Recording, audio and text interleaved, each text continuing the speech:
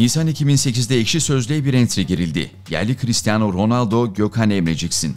Gökhan Boluspor'dan transfer olduğu Ankara gücünde tribünlere gerçekten de çalımları, sürati ve şutlarıyla büyük heyecan yaşatıyordu. Galatasaray ve Beşiktaş'a karşı adeta şov yaptığı maçlarda İstanbul takımlarının radarına girdi.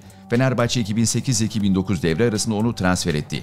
Ancak Gökhan sadece ikisi ilk 11, toplamda 12 maça çıkabildi. Kanatlarda Uğur Boral, Colin Kazım, David forma giyiyor, Aragones Gökhan'ı oynatmıyordu. Kısa süren Fenerbahçe macerasının ardından Türk futbol tarihinin en büyük transfer hikayelerinden biri olan Mehmet Topuz transferi karşılığında Kayseri Spor'un yolunu tuttu. Kariyeri boyunca birçok takım dolaşan Gökhan toplamda 22 ayrı takımın formasını giydi.